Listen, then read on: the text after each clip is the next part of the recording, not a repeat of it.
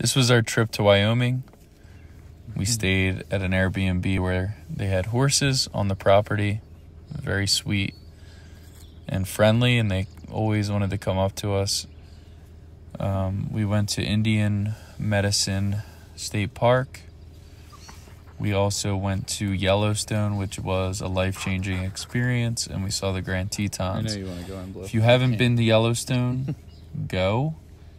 It will change you forever. If you're a nature person, if you're a spiritual person, Buddy. it's really boosted the healing in my twin flame journey and helped me awaken to pure joy. And I'm really grateful for that experience. And uh, yeah, I hope that you enjoy the content here.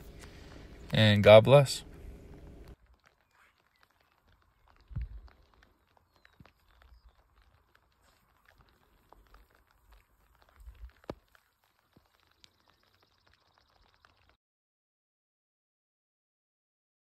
What's up, buddy?